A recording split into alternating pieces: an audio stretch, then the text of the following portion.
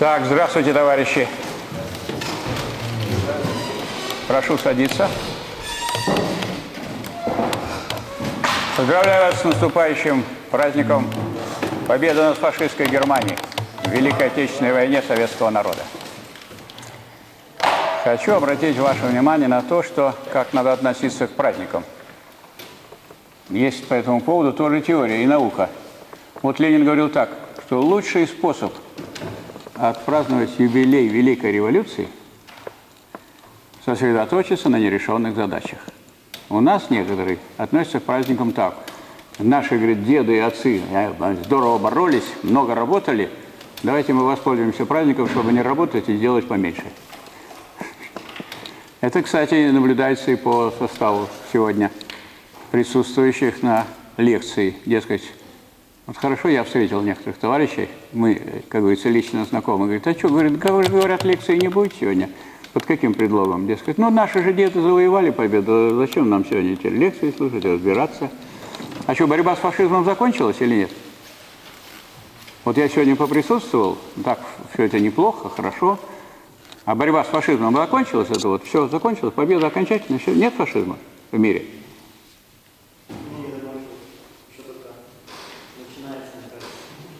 У нас сегодня лекция политика.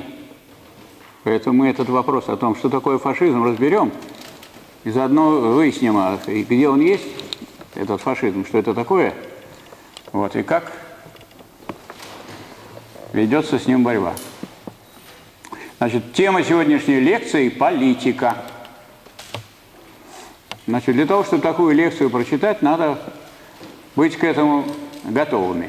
Значит, те материалы, которые у нас были, то есть предыдущее содержание курса, дало нам все самое необходимое и достаточное, чтобы говорить сегодня уже о политике. Вот. Ну, как всегда бывает, самые широко распространенные слова, самые широко известные понятия, они именно от того, что они известны, как говорил Гегель, от этого не познаны. А почему они не познаны? А кто будет познавать то, что и так всем известно? Правда? Причем известно они с детских лет. И поэтому детские представления у некоторых сохраняются до глубоких седин. Кто-нибудь может сказать, что такое политика? Ну, я думаю, что все слышали это слово, правда? Что такое политика?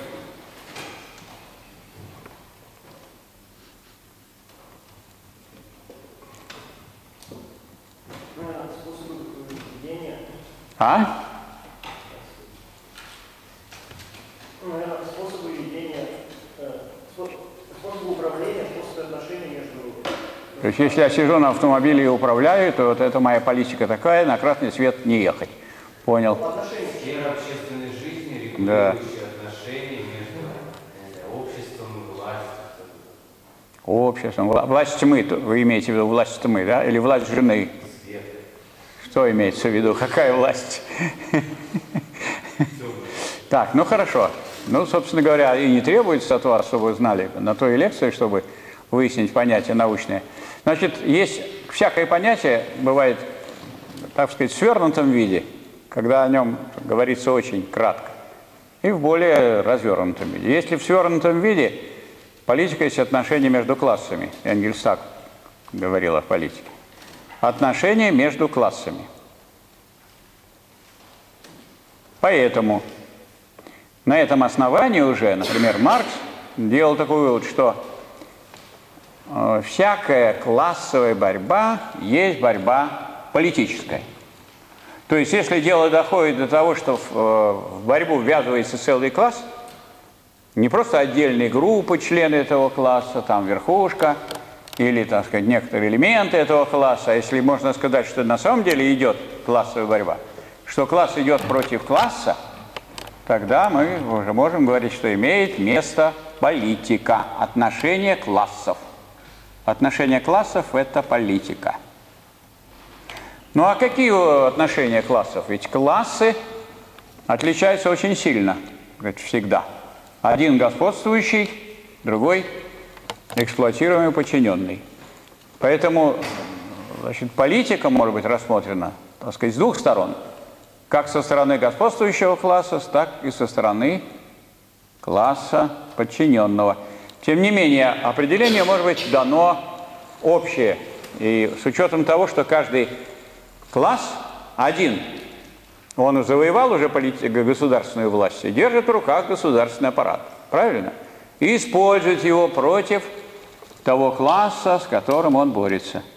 А другой хочет завоевать, стремится завоевать этот государственный аппарат, чтобы вооружиться этим оружием для борьбы со своим противоположным классом. Поэтому они не в равном отношении. Один класс господствующий, другой оппозиционный. Оппозиционный в точном смысле слова это тот, который противоположен господствующему. А когда люди называют себя оппозицией, вполне возможно, что они, у нас вот некоторые оппозиционеры явно э, представляют господствующий класс других стран, а вовсе не оппозицию в нашем обществе. Но они называют себя оппозиционерами. Итак, как можно поэтому сформулировать, что такое политика? Политика – это классовая борьба. Политика – это классовая борьба за завоевание, за завоевание, удержание – и осуществление государственной власти. Политика есть классовая борьба за завоевание, удержание и осуществление государственной власти.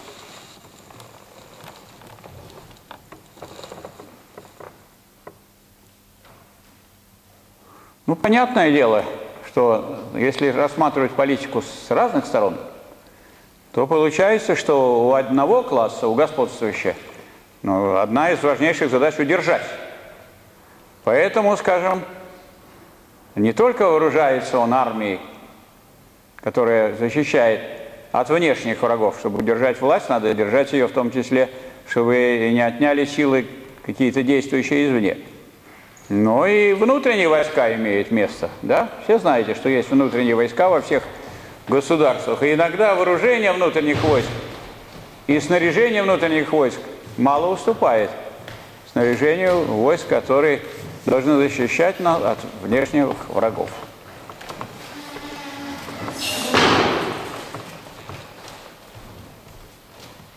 Для того, чтобы удержать власть, используются соответствующие инструменты. Все так называемые силовые структуры, это обязательно – какая-нибудь организация спецслужб, типа, скажем, КГБ или ФСБ. Это, например,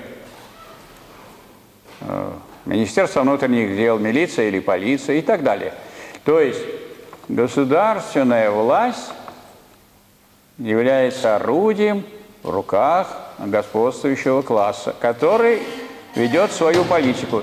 И один из элементов этой политики – удерживать эту государственную власть и использовать ее для проведения своих интересов. То есть, с точки зрения господствующего класса, это борьба за удержание и осуществление государственной власти. Но если мы рассмотрим эту же самую политику, то есть вот эту политику как борьбу классов между собой за государственной власти за использование в своих интересах, то со стороны оппозиционного класса э, задача гораздо крупнее и шире. Надо, во-первых, а, завоевать государственную власть, б, когда ее можно будет использовать в интересах борьбы с другим классом, и осуществлять. Ну а пока он этого не сделает, пока он не завоюет, Вся, так сказать, политика сводится к тому, чтобы завоевать государственную власть себе и лишить господствующий класс его государственной власти. Наивные люди думают, что для этого надо приходить на выборы и голосовать. Для этого надо наделать разных плакатиков, шарфов, ходить с э, всякого рода листовками – И, впрочем, что является само по себе делом полезным для пропаганды. Да? Вот. Но еще не было такого случая в истории, когда оппозиционный класс через выборы получил власть. Или кто-то слышал такие случаи? Есть похожие случаи, которые иногда приводят в качестве, так сказать, примера. Дескать, а вот в Чили. В Чили же на выборах победил Сальвадор Альенде. И партия его социалистическая. Но я хочу сказать, что в Чили была не только социалистическая партия, но и коммунистическая партия. И, и вот эта социалистическая партия, которую возглавлял Альенде, была ревизионистской партией. Это партия, которая, как всякая социалистическая партия после 2014 года – это партия предателей дела рабочего класса. Вот вы этого не видели, ну, в силу, так сказать, своего возраста. А я видел у нас в газете вот, за рубежом. Красным был такой заголовок «Альенде. Социализм без диктатуры пролетариата». Причем, если бы, скажем, такая статья или такой материал был бы, ну, где-нибудь в XIX веке, когда еще до этого не дошли, или когда не усвоили учение Маркса и Энгельса, или когда, так сказать, еще неизвестны были ленинские работы, не было первого интернационала, куда они брали ни одну партию, э, простите, третьего интернационала коммунистического, куда не брали ни одну партию, если она не признает диктатуру пролетариата. Было 21 условие вступления в коммунистический интернационал третий, и нельзя туда было войти, если вы не признаете необходимость диктатуры пролетариата. Это был главный оселок, с помощью которого определялось коммунист, не коммунист. Известно положение Ленина о том, что тот, кто не понимает, что должна быть либо диктатура буржуазии, либо диктатура пролетариата, тот либо безнадежный идиот, либо политически настолько неграмотен, что его не только на трибуну, его и на собрание пускать стыдно. И вот такой человек, который вот с этой ерундой, социализм, диктатура пролетариата, возглавил, возглавлял социалистическую партию, получил большинство. Некоторые люди думают, что если написано слово социализм, значит там социализм. Естественно, он не думал о том, чтобы вооружить рабочих. Поэтому он их держал в таком состоянии, что когда фашистские силы начали действовать, они безоружные были уничтожены. И, так сказать, в крови подавлена даже вот эта форма демократического волеизъявления, в общем, которая ни за какие буржуазные рамки не вышла. Пока Альенда вместе со своей соцпартией, которая имела большинство в парламенте, пока он осуществлял земельную реформу, то есть доводил буржуазную революцию до конца, потому что буржуазии несподручно отбирать даже у помещиков землю. Лучше пусть это сделает кто-нибудь другой. Как только эта задача была решена, тут же армия во главе с Пиночетом, который командовал, показала, у кого сила на самом деле. И утопила в кровь, там разразился фашизм. Фашизм. То есть дорогу к фашизму, вот как в Германии проложили социал-демократы, которые не хотели сотрудничать с коммунистами. Коммунисты немецкие были уничтожены и в тюрьмах сидели. А что касается социал-демократов, их тоже потом стали уничтожать, но уже по другой причине, чтобы не мешались.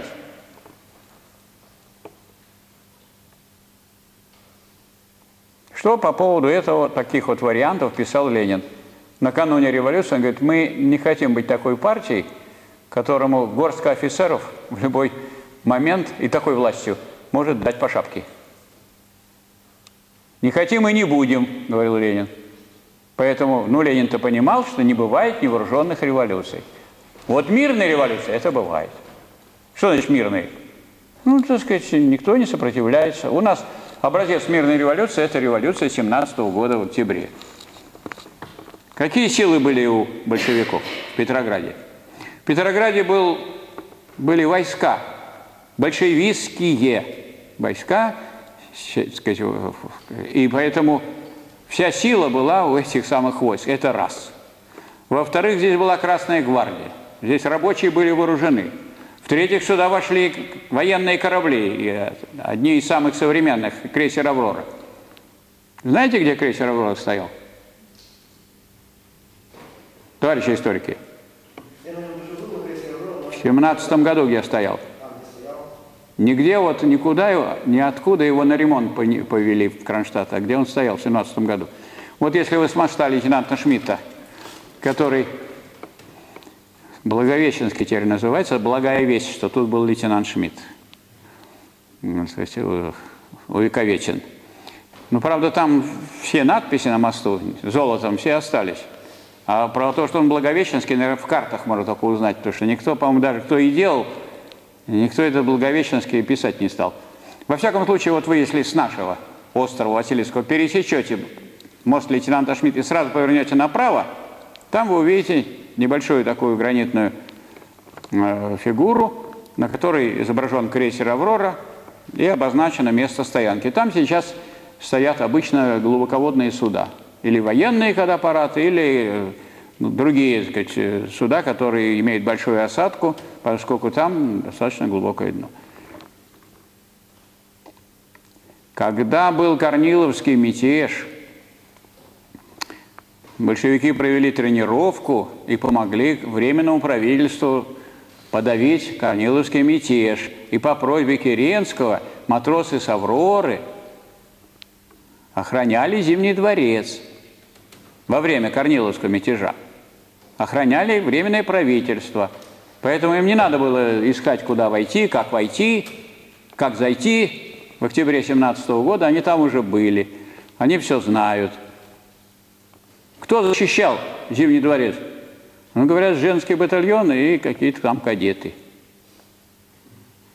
Что такое э, женские батальоны и кадеты из-за кучкой дров?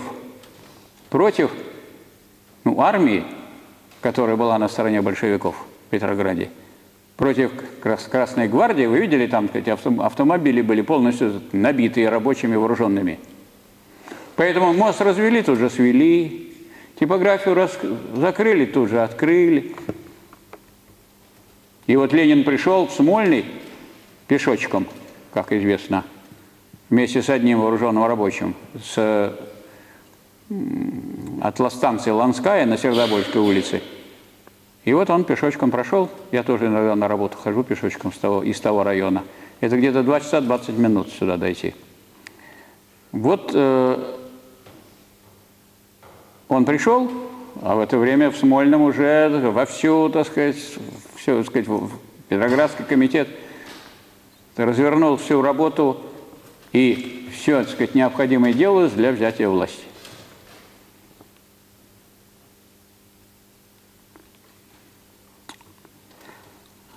Политика, иногда можно прочитать, грязное дело.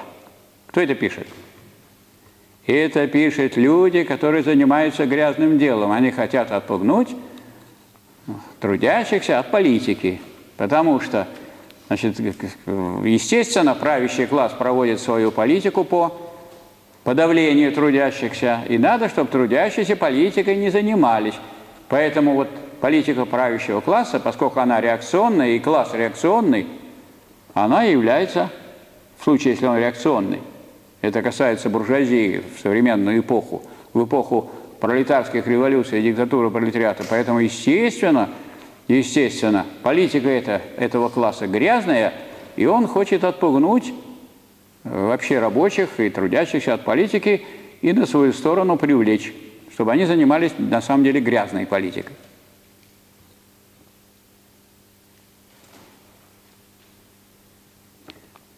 Всякий правящий класс очень любит в демократической стране завлекать на выборы.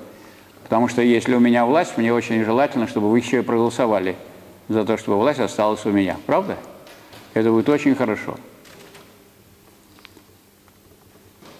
Я могу примерно сагитировать, как делает правящий класс. Так, товарищи студенты, у нас скоро выборы, давайте проголосуем. Как вы ко мне относитесь? Ну, голосовать будем до, до экзаменов. После экзаменов мы не будем эти голосования устраивать на всякий случай. А может какие-то быть сбои. Так делает обычно правящий класс. Ну, мы-то с вами немножко изучали уже так сказать, методологию исторического материализма, мы знаем, что идеология господствующего класса является господствующей идеологией. А раз господствующей идеологией, то в буржуазном обществе какие идеи господствуют? Буржуазные. Значит, в большинстве голов какие идеи? Буржуазные. А люди самостоятельно же голосуют, в соответствии с мыслями своими. Вот они идут и голосуют в соответствии с тем, что у них есть в голове. А что у них есть в голове? Буржуазная идеология. Какой будет результат? Поэтому вот вы все, товарищи, редкие люди в России, которые знают, чем закончатся следующие выборы. Редкие люди, потому что некоторые говорят, как будет, чем? Они даже не уходят домой, спать не ложатся, все считают, считают, пересчитывают, думают, кто же победит? Кто победит, как вы думаете, на следующих выборах? Ну, тот класс, который стоит у власти, тот и победит на выборах. А если вы возьмете э, замечательную такую работу у Ленина в 40-м томе полного собрания сочинений, есть работа «Выборы, учредительное собрание и диктатура пролетариата». Имейте в виду, большевики были всегда за участие в выборах. Почему? Потому что, когда выборы идут, у людей открываются уши, они политически, так сказать, больше прислушиваются ко всякой пропаганде. И надо использовать такие возможности, которые открывает выборная кампания. Но разве большевики рассчитывали на победу на выборах? Боже упаси. И даже и не думали об этом. Но зато у большевиков, например, вся рабочая курия была большевистская. Вся крестьянская курия тоже, так сказать, э, работала совместно с большевиками. То есть они то, что можно было сделать для использования легальных возможностей, конечно, делали. Ну и сколько набрали большевики во главе с Лениным по выборам учредительное собрание? Сколько? Ну, где-то треть. А кто получил большинство на выборах? Причем кто организовывал выборы в учредительное собрание? Кто довел дело до того, что выборы закончили и собрали учредительное собрание? Временное правительство собрало учредительное собрание, оно уже у власти было. Это же был общий лозунг Учредительное собрание, и большевики, и меньшевики, и эсеры, и кадеты. Учредительное собрание после буржуазной революции. А кто собрал? Большевики. Когда? Ну, когда победили. Когда советы уже были. В январе собрали 18 -го года и предложили. Пришли Ленин со Свердловым на заседание, фракция была большевиков, и предложили принять решение – что учредительное собрание, рассмотрев, так сказать, итоги революции, которая произошла в России, рабочих, крестьян, э, констатирует, что Советы – это органы более высокие, чем парламент. Так, она одобряет все декреты, которые были сделаны советским правительством. На этом свою миссию учредительное собрание заканчивает. Ну, как вы думаете, проголосовали за это? Но у кого власть-то была? У большевиков в это время или у тех, кто был, кто был в большинстве в учредительном собрании? У большевиков. Большевики сказали, ну тогда вы тут сидите, у нас место есть, остается. И ушли. Но если я сейчас уйду, вы же можете оставаться еще здесь? Вот товарищ курсовую будет писать, там кто-то чем-то еще будет заниматься, вы будете щелкать там на компьютере, а я пошел. В чем проблема? Так большевики встали и ушли. Вся фракция. Ну, а вечером, ну, кто-то дежурный караул сказал, ну, караул устал, все, у нас, видите, тоже там нет вахтеры. Сейчас придут, скажут, ну, ребята, сколько можно тут сидеть? Как-то вы давайте. Ну, они собрали манатки и ушли. И куда? И пошли они, поехали, гудели, гудели, шумели. Что большевики узурпаторы. А что узурпаторы? Ну, большевики предоставили возможность сидеть, сколько хотите, решать, что хотите. Что хотите, то решайте, у вас большинство, большинство. В учредительном собрании, они тогда поехали в Ярославль, оттуда будем править Россией. Шумели там, шумели, а как они будут править? Ничего уже у них нет. Государства-то нет у них, а только что есть. Вот избранный состав. Тогда они поехали ближе к силе. Куда? К Колчаку. Ну, Колчак на них посмотрел, и он решил, что нам две, две не надо власти. И засунул их в тюрьму. Засадил. Но они оттуда стали, так сказать, вещать из тюрьмы, шуметь снаружи, потому что не все оказались в тюрьме. Так сказать, не удалось там всем сразу приехать к Колчаку.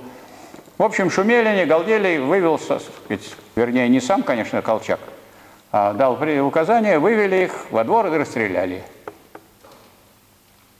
Вот вы скорбите по поводу убиенных членов, я вот скорблю всегда. Почему-то всех жалеют, а вот членов учредительного собрания не жалеют. Ну ни за что же людей убили, ни за что. Про Колчака фильм сделал, лучше бы фильм бы сделали про них. Невинные жертвы Колчака такой фильм. Никто не может поставить. Может, вы поставите? Может, у вас какой-нибудь талант есть художественный? Надо Бортко будет убедить, может быть, он согласится.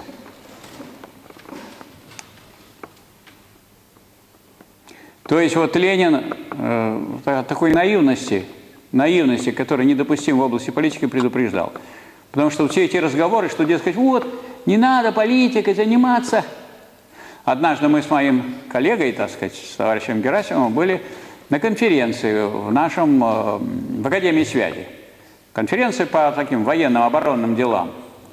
Мы газету свою раздавали «Народная правда». Один говорит, я вне политики. Мы ему говорим, ну вот чудак, вы же вообще в армии. Армия это не просто в политике, это главный инструмент политики правящего класса. Правильно? А чем вы собираетесь принуждать? Только армией, прежде всего. Если у вас нет армии, никакой власти не будет у, у правящего класса. Люди сидят в самом центре политики и думают, что они вне политики.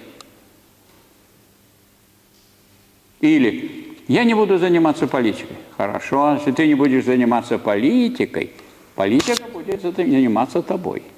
А как она будет тобой заниматься? Тот, кто никуда самостоятельно не плывет, он щепка в политической борьбе. А есть, говорит, я нейтральный человек. Хорошо, ты ходишь по баррикаде, классовая борьба в обществе идет, а ты ходишь по этой самой тропинке, которая идет в аккурат по баррикаде. То есть стреляете справа и слева. Поэтому наиболее короткий путь, это тропинка, наиболее короткий путь к чему? К смерти. Или Ленин даже более суровые вещи говорит. Кто говорит в контрреволюционное или революционное время не встанет на ту или на другую сторону, он не говорит, что вы ко мне идите. Ну куда-то вы встаньте, если не встанете на ту или другую сторону, и забьют, и убьют. Причем как? Одних-то, одни-то, там, скажем, героически пали смертью в борьбе, а другие, они просто мешались, путались, их, или одни расстреляли, или другие. И вот их, так сказать, судьба.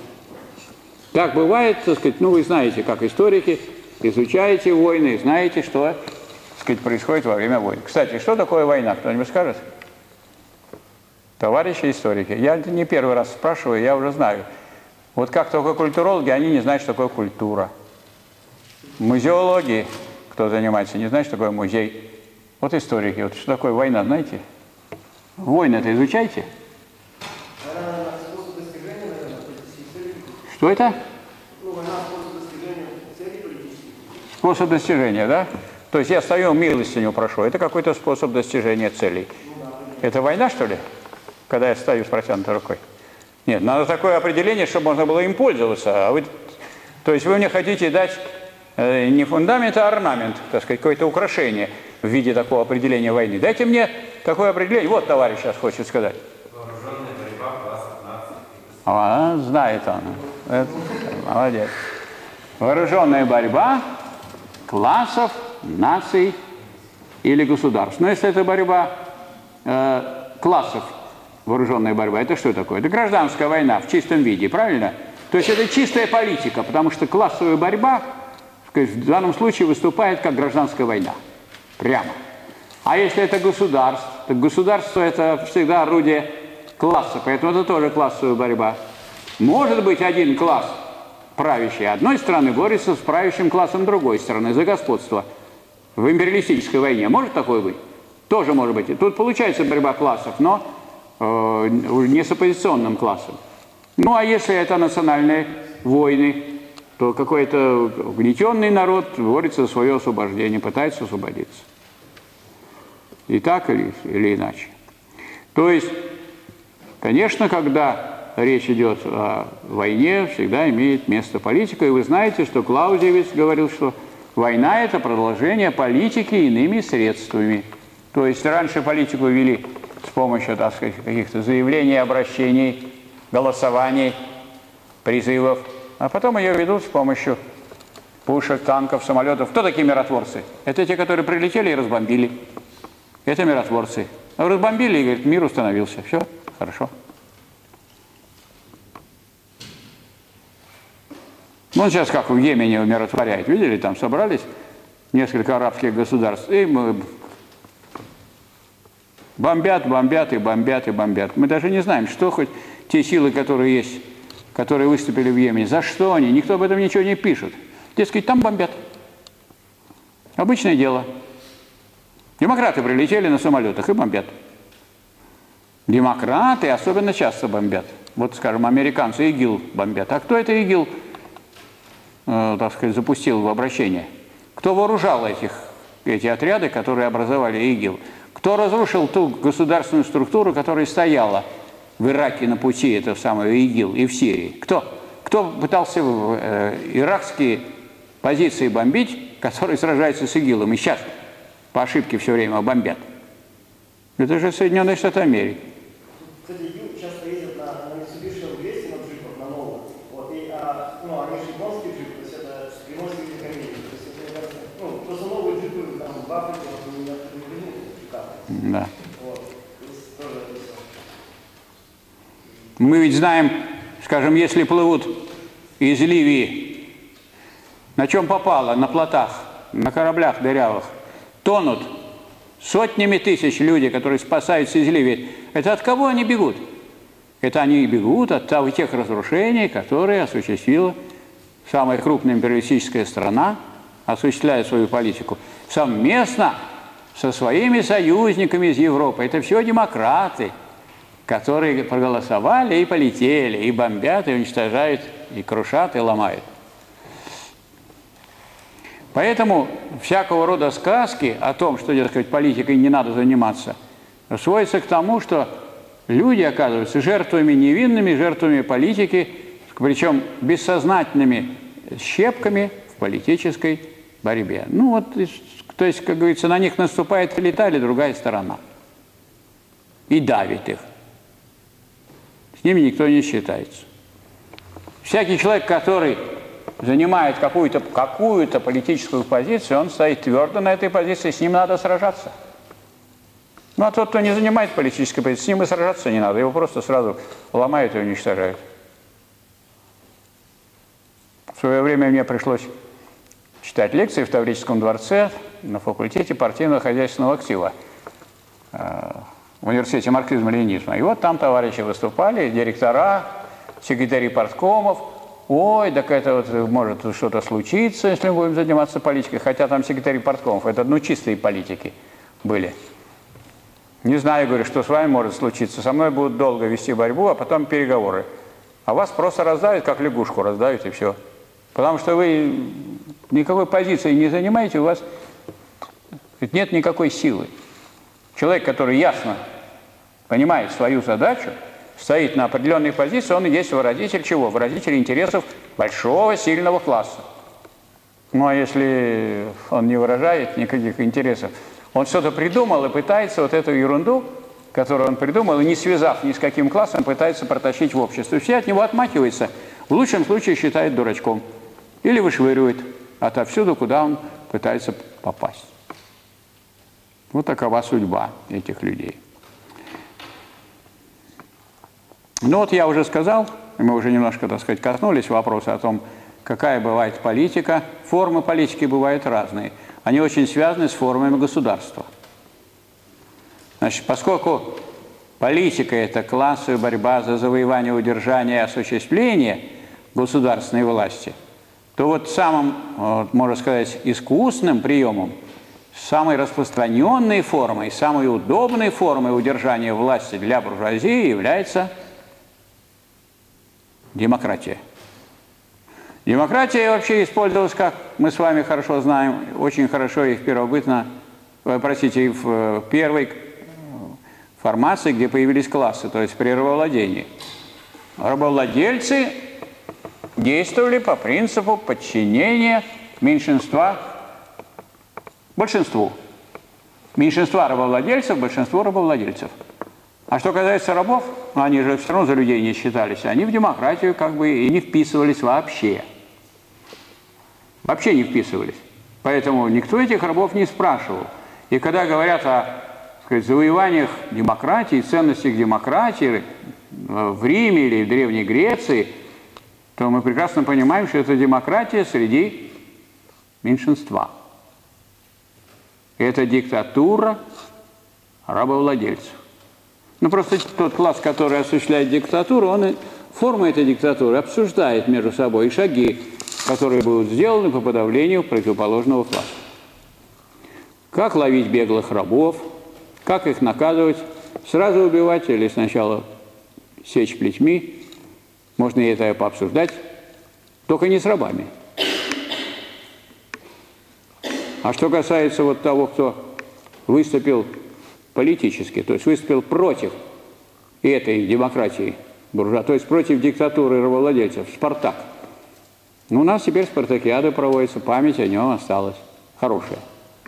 И команда хорошая называется «Спартак».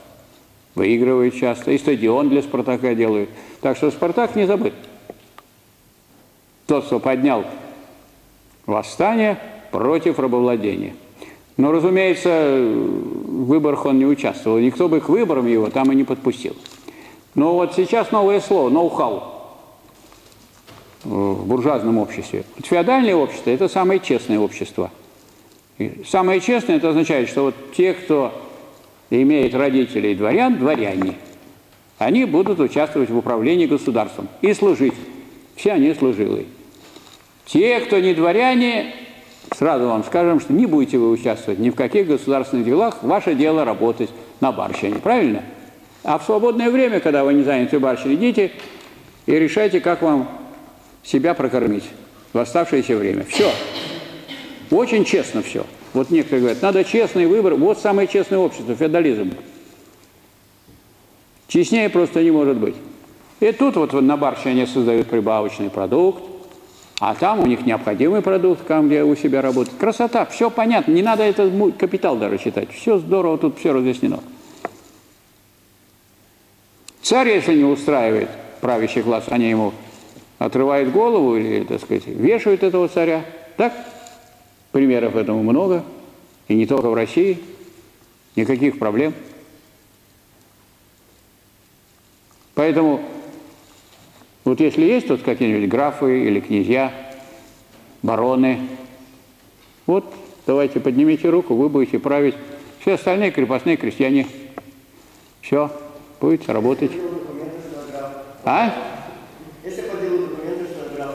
Тогда вас в тюрьму за подделку документов. Править, ну, За подделку документов вы точно попадете. Вы что хотите подделать? Может, вы под Николая II хотите? Документы, паспорт подделать Николая II, попробуйте. Да. Проведите эксперимент. Посмотрим, чем кончится.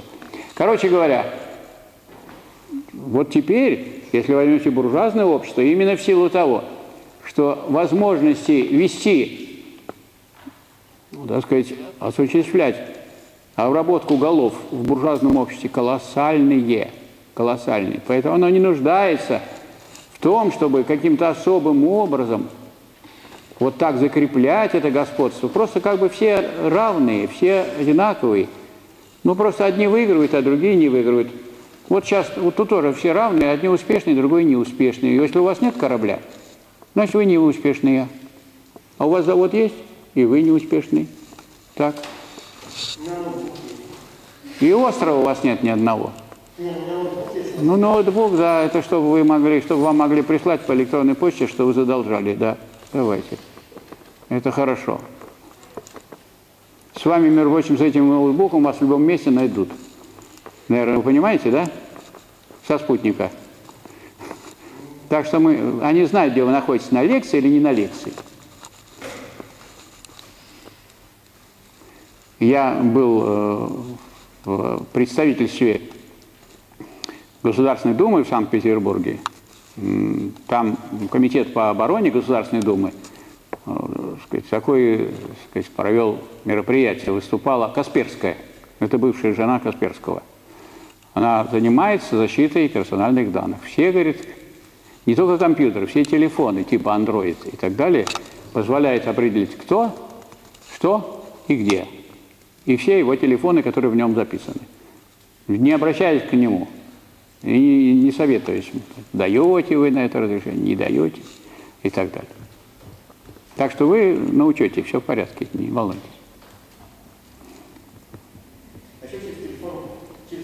Поскольку, поскольку, поскольку буржуазия обеспечивает сказать, э, в обществе господство своей идеологии, своего буржуазного сознания, поэтому она не нуждается в том, чтобы убирать выборы, голосование и прочее. В общем, не нуждается. Но с появлением империализма, с появлением империализма, в экономике начались такие тенденции, тенденции к, к возрастанию роли банков и к сращиванию банковского капитала с промышленным.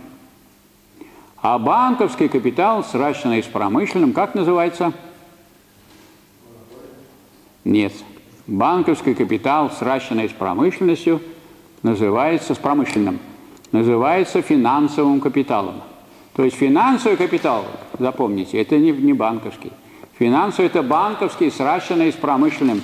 Но поскольку банк, прежде чем что-то выдать, какую-то суду, какой-то кредит, он все выясняет и знает все данные этой самого промышленного предприятия, поэтому, конечно, банки начинают вот в этом финансовом капитале, представляют, играть роль головы. Они и так могут все вопросы решить без всяких голосований. Поэтому появляется тенденция к тому, чтобы выкинуть эту всю надстройку в виде парламента, голосований.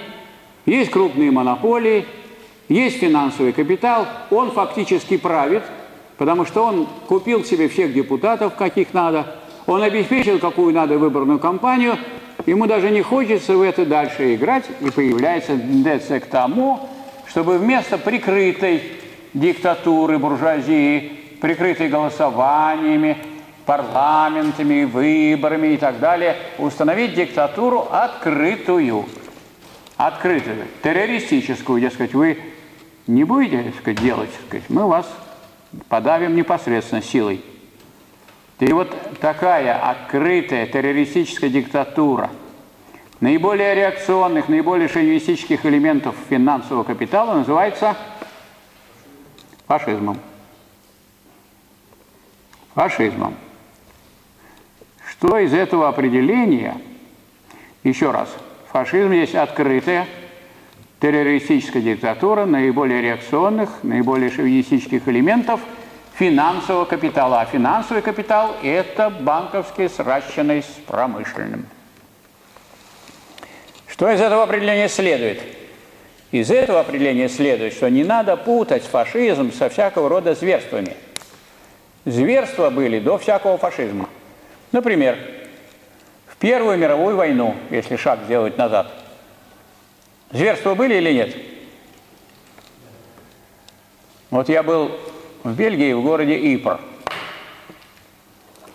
От этого города Ипр название получил газ, который там впервые применялся, отравляющий, иприт. Газом людей травили в Первую мировую войну. Во вторую даже Гитлер на это не пошел. А зверства такие были. И там есть музей Первой мировой войны, очень страшный. Там соответствующие диорамы сделаны. И видно, как то есть, люди, кони, камни, грязь, все перемешано, мясо человеческое. То есть люди, людей бросали в топку этой войны. И за что воевали? Ну как за что? За интересы крупных монополий. Поскольку империализм это уже такой капитализм, который объелся, и как говорил Маяковский, э, капитализм молодые года был ничего, деловой парнишка, споро работал, не боялся тогда, что у него от работ засолится манишка, а потом он обдрюск и обдряб, и лег истории на пути в мир, как в свою кровать. Его не объехать, не обойти. Единственный выход – взорвать. И вот этот самый объевшийся империализм закончил раздел мира. Все разделено, все уже поделено было к Первой мировой войне. Все поделено, весь мир. Это ваша колония, это наша колония, это наша сфера влияния, это ваша сфера влияния. одни удовлетворены этим дележом, другие не удовлетворены. И империализм, когда он закончил раздел мира, начинает борьбу за его передел. Борьбу за его передел. И вот в эту борьбу за передел мира он втягивает огромные массы людей, которые никаких интересов в этой войне не имеют. Они представляют собой пушечное мясо. И это пушечное мясо уничтожается. Но если вы и раньше более сказать, зайдете, э, возьмете какие-нибудь войны в эпоху э, борьбы с татарами, так сказать, в России, вы знаете, что на врагов выливали, между прочим, жир кипящий, если они лезут на крепостные системы, а жир, между прочим, топили из трупов.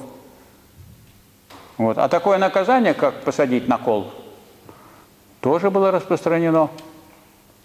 Но это же не фашизм, но это зверство – ну а от, откуда э, такое понятие, как пытливость, допытываться? Что значит допытываться? Пытать вас будем, пока не узнаем. Выучили вы этот предмет или нет? Вы узнали вы, что такое политика или нет? Так, приходите на экзамен, а тут, значит, дыба, крючья. Ну, сейчас по-другому делают паяльники, батареи и так далее. Что значит допытываться? Пытливый человек – это кто? Поэтому мы прекрасно должны понимать, что просто отождествлять фашизм со всякими зверствами нелепо, неверно исторически, не научно.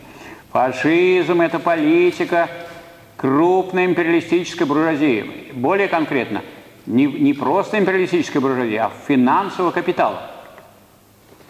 Вот иногда можно услышать, что в России тоже есть фашизм. Пишут, говорят люди безграмотные, или безграмотные, или подлецы. Подлецы, потому что, вот, скажем, России принадлежит честь, как преемница Советского Союза, сказать, являться государством, которое сломало хребет фашизму в мире. Оказывается, так и там фашизм, и тут фашизм, все фашисты. Есть какие-то фа, есть какие-то антифа. И не поймешь, что лучше, кто эти фа или антифа, что это за фантики такие. Что это такое? Спрашивается, у нас есть в России финансовый капитал. Как вы думаете? Что, да, туда. Вот если я спрашиваю, надо подумать. Ну, надо подумать, дорогой. Вот такой вы быстрый, какой вы быстрый. Я такой быстрый вот не могу быть. Не могу быть таким быстрым. Я же сказал, финансовый капитал. Это сращивание, это, финан, это банковский сращенный с промышленным. У нас разве банки сращены с промышленностью? Банки наши душат промышленность. Не дают ей никаких кредитов. Вы что, не знаете, что по, таким вот, э, по такой ставке, которую сейчас Центробанк придумал, ну, было 17, сейчас 12 с половиной. 12 с половиной центр, эти банки наши добавляют 10% под 22,5%. А вы знаете, какая прибыль в промышленности? Вы поговорите с промышленными капиталистами. Ну, 10, это очень хорошо, 10. Значит, если у меня прибыль 10, а вы мне предлагаете кредит 22,5%. Я что, сумасшедший или самоубийца брать у вас? такой крик. Какое сращивание? Этих банков все боятся, потому что это кто такие? Это люди, которые дают деньги в рост, ростовщики. И это не банки. А кто знает, что такое банк? Никто не знает, я знаю, скажу. Банк – это такое финансовое учреждение, которое появляется при империализме и которое временно свободные – средства в хозяйственном обороте, накапливает и направляет туда, где имеется их временный недостаток в силу хозяйственного оборота. Там вы продали, но еще не купили, у вас есть, они временно бездействуют. Вы направляете туда, где им нужны эти самые средства. За какую норму прибыли? По средней норме, норме прибыли. Поинтересуйтесь, какие ставки процента там, где есть финансовый капитал, там, где есть банки – Посмотрите в Соединенных Штатах Америки, которые мы не любим, мы с ними, так сказать, где-то сражаемся, где-то у нас с ними противостояние. Но ну, если у них что-то есть хорошее, так надо это брать. Посмотрите, у них сколько ставка процентов? В США. Полтора-два процента. Это мало разве? Я, там банки, один банк больше, чем вся наша банковская система.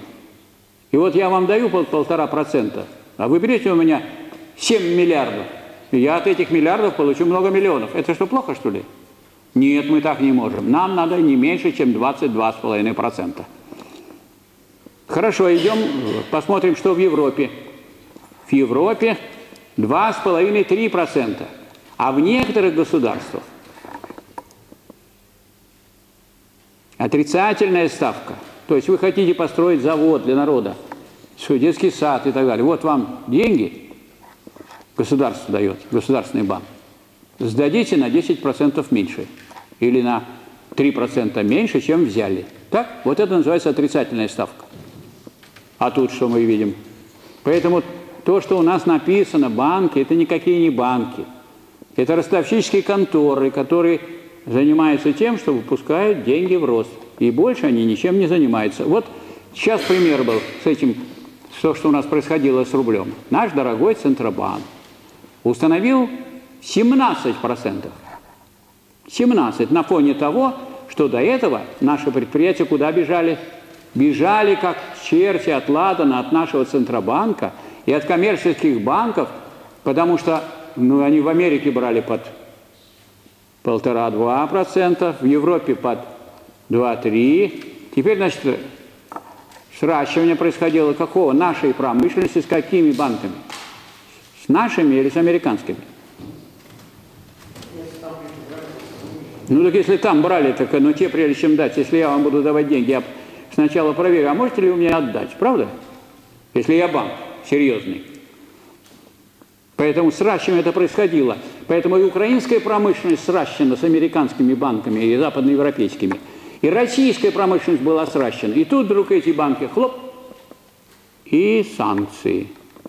То есть уже в Америке не возьмешь, в Западной Европе не возьмешь, а в Центробанке тем более не возьмешь потому что там давно санкции, в том смысле, что эти вот такие высокие ставки процента – это постоянно действующие санкции. Поэтому наш э, министр промышленности и торговли, товарищ Мантуров, не зная, как с этими банками бороться, так называемыми банками, и понимая, что они промышленность не кредитуют и кредитовать не могут и не будут, он стал создавать фонд поддержки промышленности, где под 5% можно взять. Под 5%. Поэтому у нас банков в точном научном смысле нету пока. И надо запомнить то, что говорил Козьма Прутков. Если на клетке слона написана надпись «Буйвол», не верь глазам своим. А ростовщичьи конторы есть у нас? Есть. Но называются они банки. Одно время в хозяйственных магазинах продавали горшки ночные. Но название было такое «Ночная ваза». Красиво. Вот так же красиво у нас банки называются. Или вот, скажем, у нас есть Министерство экономического развития. Это все делает это министерство, чтобы не было этого развития. А то министерство, которое занимается развитием, то есть Министерство промышленности и торговли, его блокирует со всех сторон.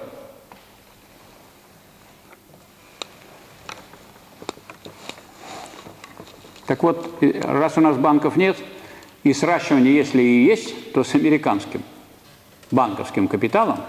Поэтому у нас очень много людей, которые работают на нужды финансового капитала Соединенных Штатов Америки и Западной Европы. Не только на Украине есть они, и у нас есть. Например, вот есть такой товарищ Дерипаска. Знаете такого? Вот он собственник газа, как стал. Наверное, он на стройке работал – Носилки носил. У него образовались денежки, он купил газ. Горьковский автозавод. Обычное дело. А вы, наверное, не работали на стройке, у вас столько денег нет. Он купил газ. И что дальше он стал делать? А дальше, а дальше он стал устанавливать там, Волгу оттуда убрал, которая пользовалась спросом, и которую надо было бы модернизировать, улучшать. Он ее вообще убрал и купил Крайслер – Крайслер – это самая плохая машина, которая есть в Америке. И вот оборудование для этой машины старое, которое надо просто выбросить или взять металлолом, он купил и установил на место того оборудования, которое делало «Волгу», чтобы «Волгу» уже не восстановить. А поскольку даже параметры колебаний электрических, другие у этого Крайслера, пришлось там, значит, народным умельцам много помучиться, чтобы, значит, запустить Волгу Сайбер. Корова на колесах. Вы видели Волгу, Волгу Сайбер? Или кто-нибудь любит Волгу Сайбер? Это из Америки нам привезли. Это Дерипаска постарался нам Волгу Сайбер. Правительство обещало России 50 тысяч давать в порядке поддержки. Кого поддерживает-то? Дерипаску. Краслер поддерживает. Так, правительство Нижнего Новгорода еще 50 тысяч. 50 тысяч, э, в связи с, э, если вы сдаете, то есть 150 тысяч. И даже вроде людей брали. Тогда они решили, что мы больше, чем в одну смену работать не будем.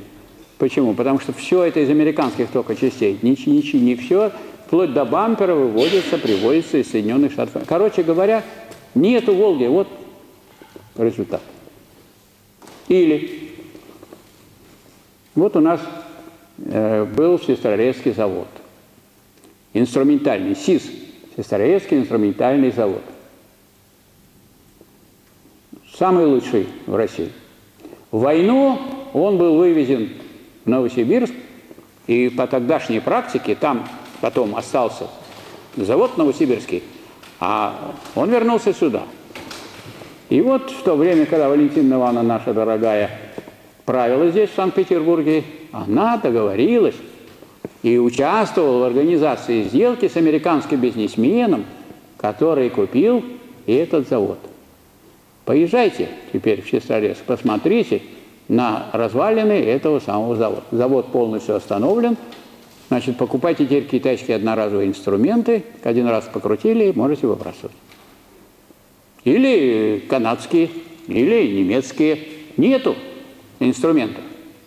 А без инструментов нет машиностроения. Нет станкостроения. И вот сейчас заговорили об импортозамещении – Интересное дело, вы, значит, продали свой завод, а теперь будем... Его сразу уничтожили. И некоторые, безусловно, капиталисты, так называемые компрадорские, получают деньги не за развитие отечественной промышленности, а за уничтожение отечественной промышленности и получают эти деньги от соответствующих структур на Западе. Вот что происходит. Короче говоря, поискали мы с вами тут финансовый капитал и не нашли. Теперь скажите, пожалуйста, Россия из тех стран, которые грабят другие страны, или из числа тех стран, которые других грабят страны, Россию? Вот мы делаем сырье и везем. Что бы надо было сделать? Надо бы это сырье переработать, правильно? Нефть, сделать бы бензин, да керосин, на котором летают самолеты, да масло сделать и продавать. А мы отдаем туда сырое – а после этого нам продают то, что сделано из нашего сырья. Ну так поступает и с, с Узбекистаном. Хлопок забирают, а обратно рубашечки везут. Какие? Золотые. Потому что там прибыль уже соответствующего иностранного производителя и так далее. Кто кого грабит? И говорит, ой, нам мы хотим, чтобы к нам инвестиции были. Это инвестиции или это вывоз капитала? Ну, если к нам капитал привозят, для чего его привозят? Вот я привоз, привез капитал, приехал, ну еще хотите, из Великобритании. Привез капитал, поставил завод. И получаю прибавочную стоимость. Откуда? За счет труда наших рабочих российских. А прибыль куда вывожу? Ну, по месту регистрации своего завода. Если завод иностранный, это где? Капитал-то откуда? Он же вывоз же капитала. Значит, он куда должен уехать? Этот продукт, соответствующий прибавочный. Куда пошла прибавочная стоимость? На Запад пошла. Или мы вывозим капитал в Америку и, и, и получаем прибавочную стоимость от американских рабочих. Так что ли? Что-то такого я не наблюдаю. То, что у нас монополистическая экономика, это факт. То, что у нас банков нет на самом деле, это тоже факт, а ростовщические конторы. Поэтому никакого финансового капитала нет, поэтому ни о каком фашизме, с точки зрения самой даже возможности потенциальной, по крайней мере, до того, как не будет банков, даже и разговора не может быть. А ФА есть. и антифа есть. И разговоры про нациков есть. Спрашивается, а что это такое за понятие нацизм? А нацизм – это понятие, сказать, уже являющееся не всеобщим, таким как фашизм, а особенным. Это не, не любой фашизм, а который связан с таким крайним национализмом и шовинизмом, который имеет место, так сказать, в некоторых странах. А в каких? Пока мы можем найти только одну страну – гитлеровскую Германию. Больше нигде нацизма не было при фашизме. При фашизме. Потому что фашизм в Испании был, был. Нацизм был там. Испанцы говорят, мы испанцы, чистая раса, а вы русские. Низшая раса. Было там такое? Нет. Хорошо. В Португалии был фашизм? Был. Нацизм был там, португальский? Мы, португальцы, единственная голубая раса на всей земле. А вы, испанцы, там, французы, англичане, русские и так далее, низшая раса. И был? Нет. А в Греции был режим черных полковников, фашизм был? Был одно время. Я видел товарища, которому вырезали ремни на спинах, был в Афинах на конференции. Меня с ним знакомили. Фашизм там был в Греции, но нацизма там, что там они прогласили. Мы греки, у нас, у нас самая древняя культура, вы вообще никто. Что у вас было в России, когда мы были, у нас там все уже, у нас Пифагор был, у нас Платон был, а у вас что было в том времени? Не было никакого там нацизма. Так, хорошо. В Чили фашизм был? Был. Там что, объявили, что чилийцы – это высшая раса, что ли? Был нацизм. Поэтому вот не случайно некоторые граждане, которые не хотят употреблять точные понятия, хотят кого-то запутать политически, они фашизмом называют всякого рода национализм. А буржуазный национализм у нас есть? Есть. Буржуазный национализм при буржуазном строе есть? Да не может не быть. А какой нас? А всех. А всех. Русский есть национализм? Есть буржуазный. Немецкий есть? Есть. Еврейский есть? Есть. Грузинский есть? Есть.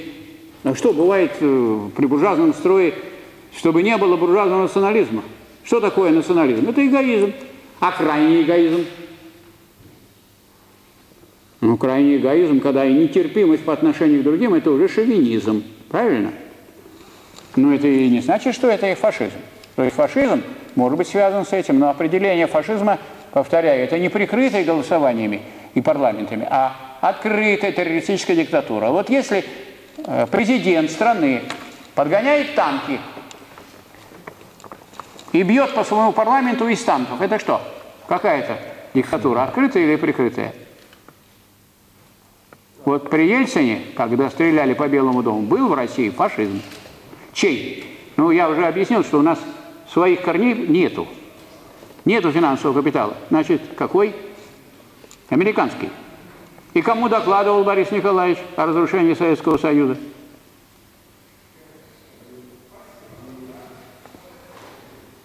За кем? Недавно товарищ Бастрыкин – из нашего университета, который здесь у нас был заместителем, он был старостой группы в той, где учился Владимир Владимирович Путин на юрфаке. И был э, потом э, замсекретаря порткома по идеологии. Я его хорошо знаю, был замсекретаря по идеологии на экономическом факультете. Вот. И вот этот э, товарищ Бастрыкин недавно выступил с инициативой. Надо изменить Конституцию, выкинуть из нее положение – которые, говорит, вписали туда американские инструктора, когда писалась Конституция, и которые сидели у нас раньше в каждом министерстве, что э, международное право выше национального. То есть если есть какая-то норма международная, то действует международная.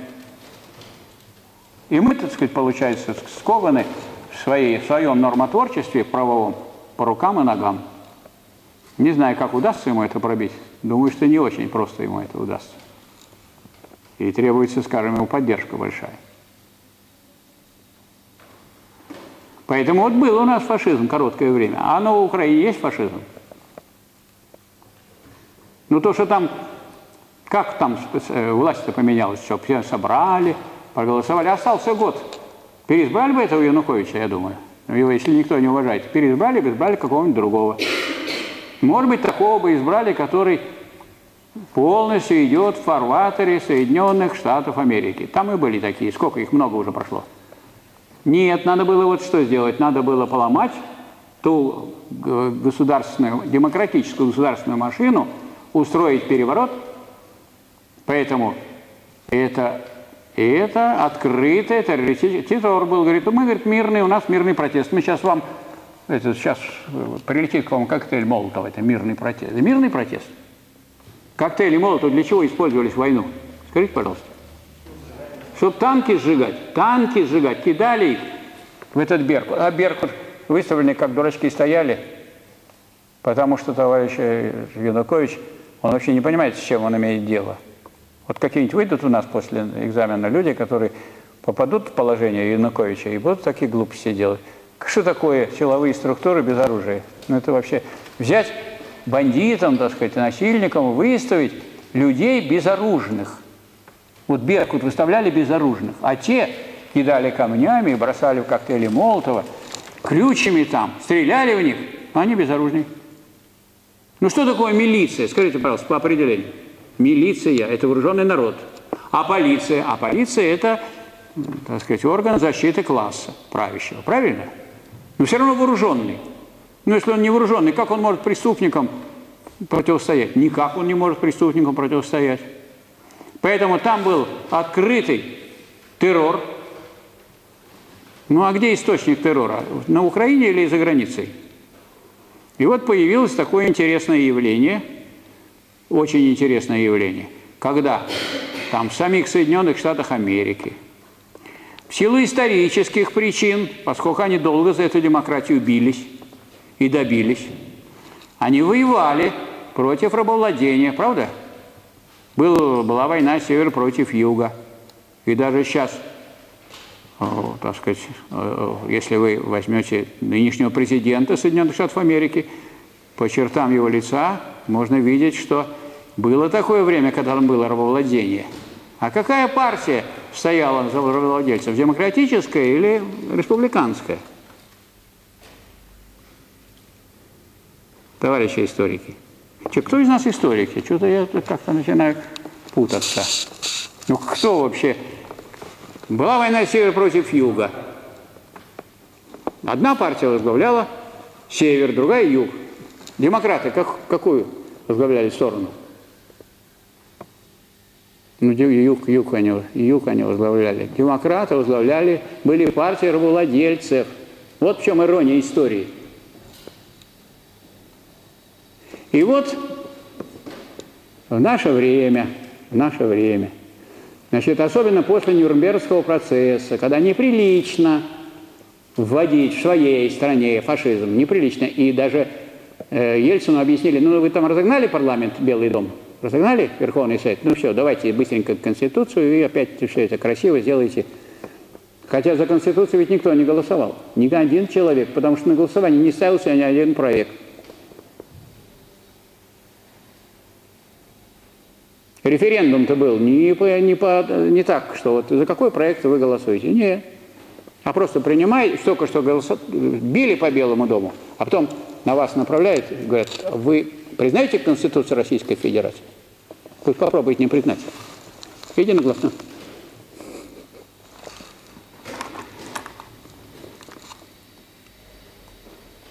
Так вот, по отношению, значит, к ситуации внутри страны, Неприлично в современном мире э, э, фашистским образом решать вопросы э, господства буржуазии. Зачем? Есть же выборы, они всегда дают вам возможность получить власть без осечек, без ошибок, так? Зачем это вот все? А тут еще придет какой-нибудь бесноватый, и у вас отнимет вашу собственность. Поэтому буржуазия должна опасаться фашизма тоже. Она опасается в своей стране. Ну а в чужой стране объявим вашу страну изгоем. А что такое изгой? Вообще вы не человек. Вы никто. Вот с ним надо очень все разговаривать, культурно. Вам напалм туда вести и скидывать. И бомбить, и бомбить, и бомбить, потому что изгой. Ну, изгой, как вы думаете, что такое изгой? Не должно быть его, а он еще есть. Объявим страну изгоем. И вот мы наблюдаем сначала в Югославии политику американского финансового капитала и западноевропейского дорогого финансового капитала, в котором там банки есть культурные, не такие плохие, как у нас. Я же вам рассказал, что у нас хуже банки, чем у них. У них лучше банки, у них настоящие банки, но сращенные уже с промышленностью, и они хотят господствовать уж не у себя в стране открыто, а уж, по крайней мере, за границей-то открыто. Прилетают на самолетах и начинают бомбить, не спрашивая, никакие демократические избранные учреждения. Первое, что они сделали, они разбомбили, уничтожили независимую Югославию. Югославия, государство европейское, крупное довольно, между прочим, участвовало в борьбе с фашизмом активно. Не так, как Румыния, и не так, как Болгария. Не помогали гитлеровцам, а мешали. Прилетели, бомбили прямо поезда гражданские. И вместо теперь Югославии, большого государства демократического, что мы имеем? Много-много-много-много маленьких государств, которые никакой роли, как вы знаете, при империализме играть уже не могут. Они должны идти в фарватер. Каких государств? Ну, крупных каких. Ну, тех, которые могут снова прилететь, если что. Ну, кто теперь может, кто-то может из югославских государств теперь, нынешних, а их теперь сколько? Начинаем считать. Сербия, раз, которую нас любит, уважает, но как на нее нажмут, она уже, значит, начинает делать то, что скажет Евросоюз. Так, Македония, два, Черногория, три, Хорватия, четыре, Босния и Герцеговина. Сейчас всех перечислил, еще есть. Там так много стало. Вот, Словения, шесть. Видите, сколько? И как хорошо стало. Много-много государств. Ну, просто спасибо хочется сказать. Они делали из одного какого-то государства много-много хороших разных государств. Это что такое? Вот это называется фашизм. А какой фашизм? Внутри Соединенных Штатов нет, а здесь вопросы решаются не путем голосований, не из учета сказать, демократических каких-то волеизъявлений. Может быть, они хотели разделиться. Приехали бы американские пропагандисты, их начали бы убеждать. Вы разделитесь на шесть государств, наделайте Словении, Македонии, Черногории, Сербии и Хорватии, и разделитесь, и, будете, и будет вам хорошо. Нет, прилетели самолеты, приплыли корабли, и нету Югославии. А дальше, а дальше есть такая древняя-древняя страна, Ирак – по сравнению с историей Ирака, у Соединенных Штатов вообще никакой нет истории. У них Багдадский вор был тогда, когда и даже и духа не было про эти Соединенные Штаты Америки, и слуха никакого, а уже был Багдадский вор. Багдад – это древний город. Демократия была в Ираке? Там избрали президента?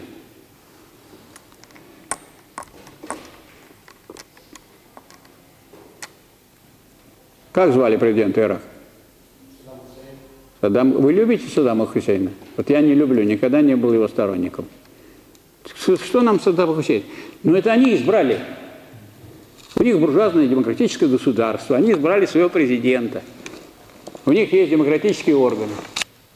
Вдруг приходят американские спецслужбы, говорят, «А у вас, наверное, есть какое-то оружие массового поражения. Вот у вас там вот этой вот в стаканчике нет оружия массового поражения? Не надо, не надо трогать. Сейчас наш спецназ пролетит, сейчас вас, вас повесят, и мы посмотрим, нет ли у вас там оружия. Так, повесят сначала вас. Потом скажет, вы знаете, мы, правда, его повесили, вот, государство уничтожили, не нашли оружие массового поражения. Это что такое? Это и есть фашизм. То есть попрание всех демократических норм, уничтожение демократического государства, слом его. То есть как бы а, они не захватывали, у них войны как бы и не было. Где тут война? Просто уничтожили государство, демократию уничтожили в Ираке.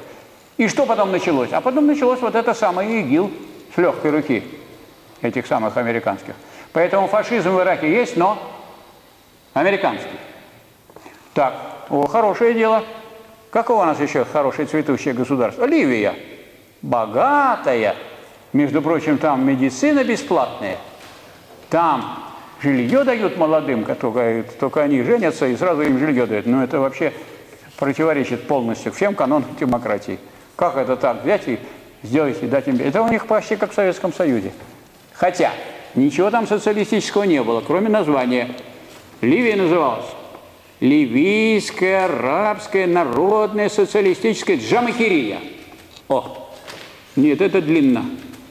Надо собрать самолеты, корабли, собрать всю команду там, и уж там и канадцы, и австралийцы, и итальянцы предоставляли свои аэродромы для самолетов.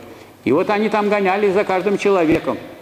Ну, а этого самого Амара Каддафи, который хотел не 25% ему оставляли от прибыли, хозяйничавших прибыли э, в Ливии иностранных монополий, а 50, его разорвали просто в буквальном смысле слова на куски. Растерзали. И что? Ну и чего добились? Как теперь с правами человека это в Ливии? А нету государства ливийского. Вообще никакого нет государства. Никакого. Ни феодального, ни буржуазного, никакого нет. То одни воюют, то другие воюют. Одни себя объявляют правительством, другие правительством. Разорение. Народ бежит оттуда. Умирает сотнями. Тонет в Средиземном море. Спасается. И молчат, как ни в чем не бывало. И наш вот э, Дмитрий Анатольевич тогда воздержался при голосовании и пропустил. Говорит, мы решили пропустить. Ну так вот результат. Поэтому, когда Сирии попробовали американцы то же самое проделать, был уже Владимир Владимирович президентом, он это сказал, нет, этот номер не пройдет. Потому что в Сирии вы учинили то же самое. Причем, обратите внимание, что там, социалистическое государство, что ли, в Сирии? Там буржуазное государство, буржуазно-демократическое. Кто такой Хави Асад? Президент. Его избрали. Сирийцы вызвали, мы его не избирали. Нам он... Как мы стали э, там средства ПВО поставлять, вот вроде их так уже и не победить.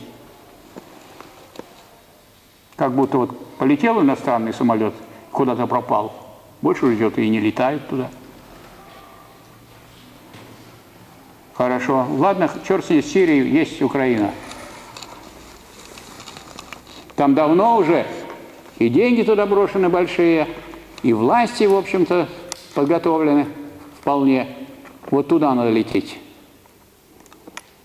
Но я думаю, что вот э, эта политика, американская политика своими чужими руками решать свои вопросы, она там вполне себя проявила. Некоторые думают, что это выступление против Украины. Конечно, это выступление против России. Но Россия и Украина, они сращены и в национальном смысле и в культурном смысле, и главное в экономическом смысле. Что такое Днепропетровск? Это город, в котором производились те самые ракеты, которые обеспечивали всю нашу космическую программу. Это не единственный город на, на сегодняшний день, но это в общем. А где самый тяжелый самолет транспортный, самый крупный производился? Антонов на Украине. Где крупная концентрация промышленности на Украине? Ну и я думаю, надо сказать, э, отдать должное нашему руководству. Оно, наконец, сначала оно просто говорило, что, дескать, ну это Украина, это ее дело. Как ее дело? У нас же есть такое понятие, как соотечественники. Что такое соотечественники? Это те люди, которые родились в Советском Союзе или родители которых родились в Советском Союзе. Это соотечественники а не просто, так сказать, другие граждане других стран. У нас есть комитет по связям с отечественниками Государственной Думы. У нас есть определенные льготные условия для обучения соотечественников и так далее. У нас определенные условия связаны э, с решением миграционных вопросов. Вы можете поехать в любую страну бывшего Советского Союза, кроме теперь Украины, по паспорту, да, и все. И визы никакой не надо. И наоборот, к нам приезжают. Дескать, ой, они к нам понаехали. Так они понаехали вам, нам, убирать грязь. Дворниками работают, водителями, грузчиками, настройки и так далее. Это же особые условия. Дескать, они там совершенно, какие они независимые. Нельзя сейчас быть независимым в мире. Быть зависимым либо от России, либо от Америки. Других вариантов нет. Ну что, стали независимыми Латвия, Литва, Эстония? Латвия производила Микроавтобусы. Нету. Все. Производила ВЭФ радиоприемники.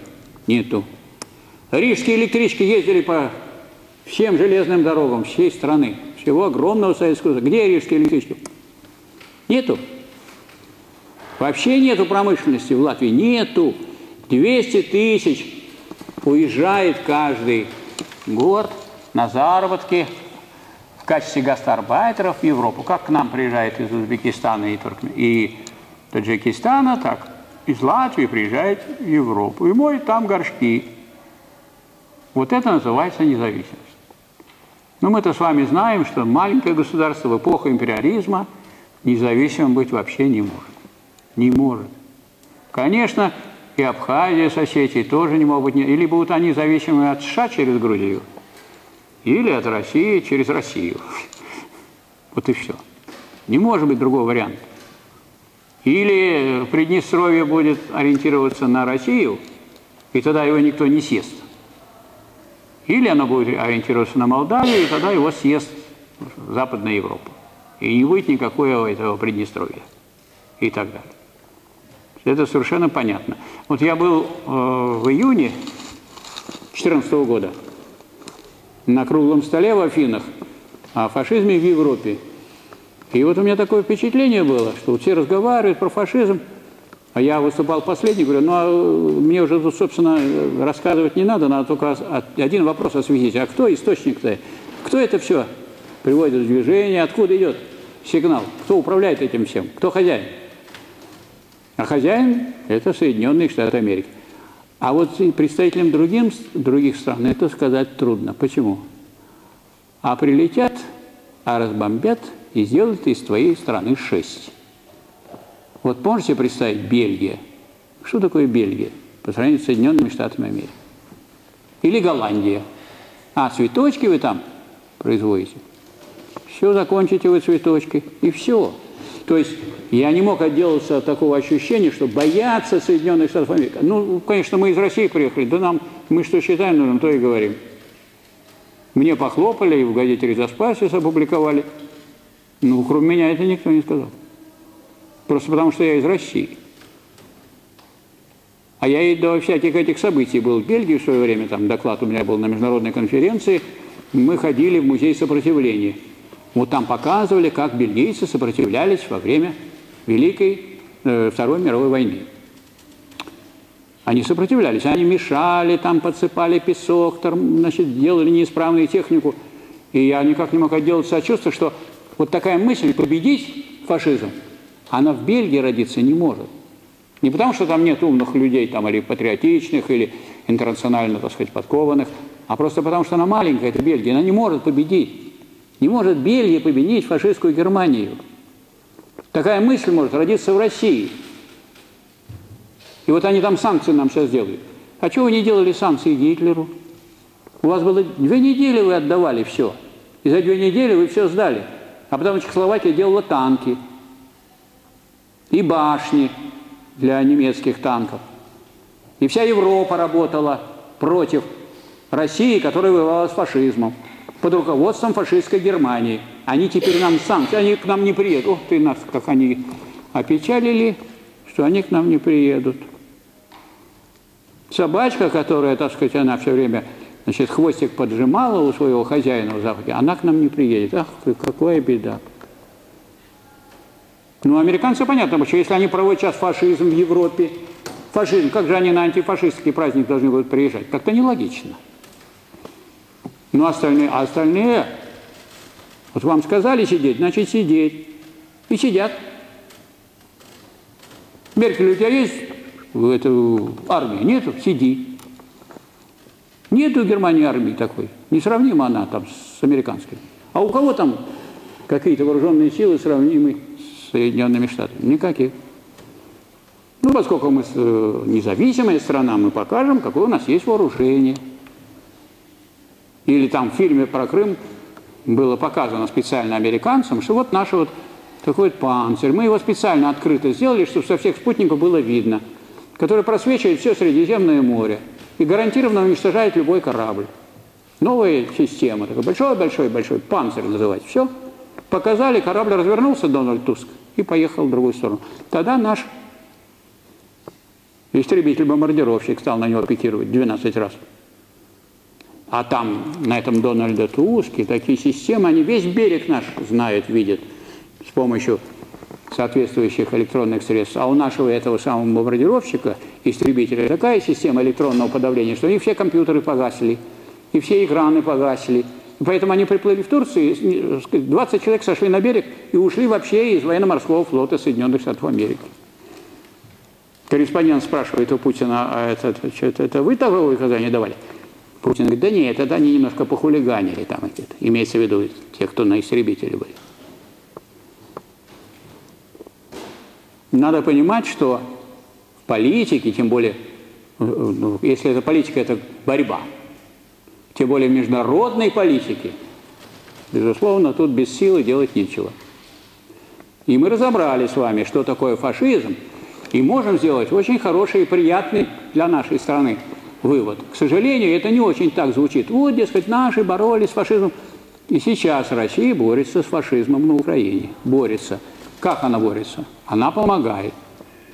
Чем может. Добровольцев очень много идут. Добровольцы идут туда сами, но они обучены, они умеют вести военные действия. Их там процентов 10. Военных частей наших там нет, а военные, которые добровольно идут в отпуск и воюют там, есть.